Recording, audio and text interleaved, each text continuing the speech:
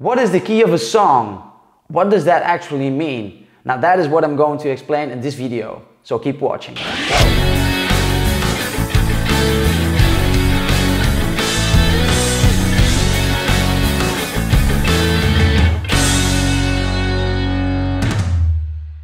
Hi guys, Yuri here again. Welcome to YB Plays Music. So in the last couple of weeks, I explained to you guys or tried to explain what major scale and minor scales are, how they are related, and how you can recognize them. Now, you might find some musicians talking about the key that a song is written in. What does that actually mean? And it's very important that we know what scales are for this one as well. Now, the key of a song is always portrayed in a letter, which is the actual notes. We're just going to start off with major keys or minor keys. The key stays the same. For example, if a key is written in C major, that just means that all the notes that we can use in that song to play are all the notes included in the C major scale. This one.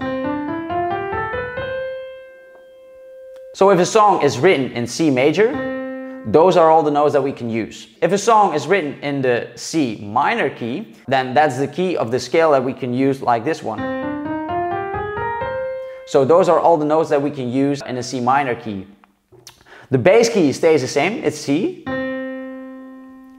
But with just the key, we don't know if it's major or minor. And that's a big difference in the song and in the feel with it. Now, this doesn't include key changes or modulations because they, they can always change the key during a song as well. More often than not, songs are written in one certain key and it stays pretty simple. But some songs switch between different keys and most of those key changes are raising the key, so taking half a tone, one full tone, one and a half tones higher, but the exact same thing. Uh, and most of the times we hear that in uh, for example, the last chorus, uh, where they play the same chorus as before, but one tone higher, for example, uh, as before. So then the key change is just the same, but one tone higher. So if a song starts off in C major, for example, but in the last chorus they play the same chorus one full tone higher,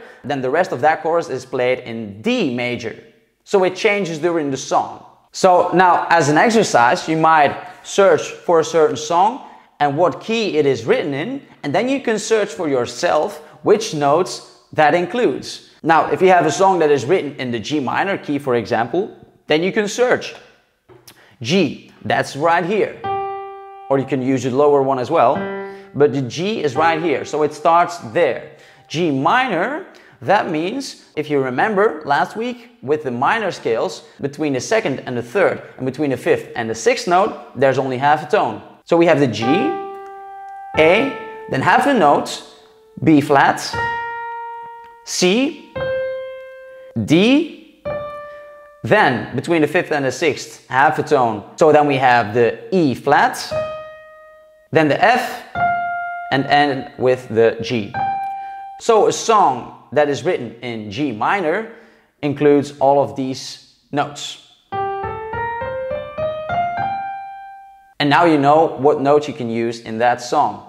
That's basically it guys. So if you have questions for me, ask them in the comments below. I hope you learned something again today guys. Don't forget to subscribe, like and share the video. Also don't forget to check out my other tutorials. I have reaction videos and music videos for you guys to check out. So thank you very much and see you guys next time. Bye.